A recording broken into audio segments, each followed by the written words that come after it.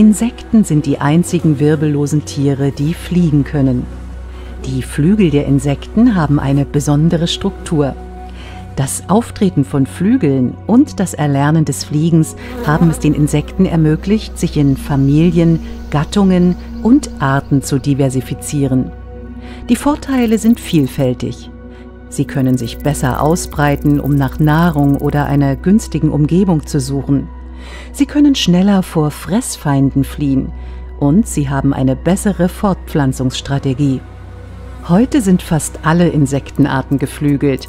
Man nennt sie Pterygoten. Die Entwicklung der Flügel bei Insekten erklärt ihren unglaublichen Reichtum auf unserem Planeten. Es gibt verschiedene Theorien, die die Entstehung von Insektenflügeln erklären. Die Flügel der Insekten befinden sich zwischen dem dorsalen Teil eines Segments des Brustkorbs und dem ersten Segment der Beine.